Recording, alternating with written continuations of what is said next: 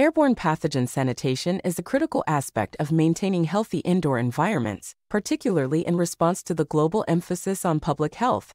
This video discusses the significance of sanitizing environments to prevent the spread of airborne pathogens and outlines effective techniques. Airborne pathogens, such as viruses and bacteria, can easily spread through coughing, sneezing, or even talking, making sanitation efforts crucial in public spaces, workplaces, and homes.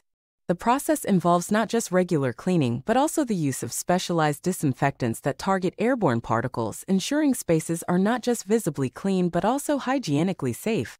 Professional sanitation services employ advanced technologies, including HEPA filters, UV light sanitation, and electrostatic sprayers to effectively neutralize airborne pathogens.